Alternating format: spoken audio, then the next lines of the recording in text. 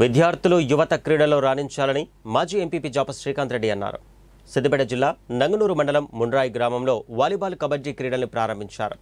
యువతను క్రీడల్లో ప్రోత్సహించాలనే ఉద్దేశంతో మంత్రి హరీష్ రావు టోర్నమెంట్లు నిర్వహిస్తున్నారని అన్నారు. క్రీడాకారులు గెలుపోటములు సహజంగా తీసుకోవాలన్నారు. అంతకుముందు రాజగోపాల్పేట గ్రామంలో యువతకు వాలీబాల్ స్పోర్ట్స్ డ్రెస్ను అందించారు. ఈ కార్యక్రమంలో సర్పంచ్ రాజేందర్ సీనియర్ నాయకులు కమాల్ షరీఫ్ కోనేటి పెద్ద సత్తయ్య జాజాల చందు గ్రామశాఖ అధ్యక్షులు MD Izharuddin ward member Radhakrishna Krishnamohan ఉన్నారు.